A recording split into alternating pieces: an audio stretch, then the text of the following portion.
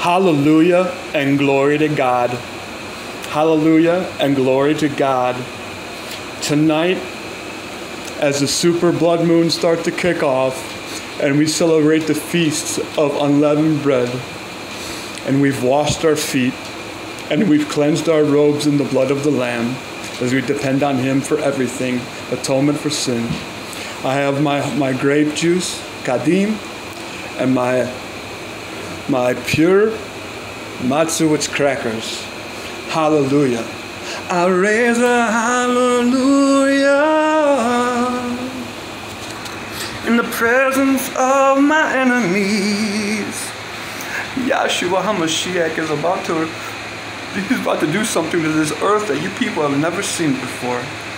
Tonight I take communion with him. I washed my feet I've washed my, my robe in the blood of Jesus Christ as He's atonement for my sin. And now I'm going to commune with Him. I wish you were here to join me, somebody. Praise the God of Israel for the bride. I love you all.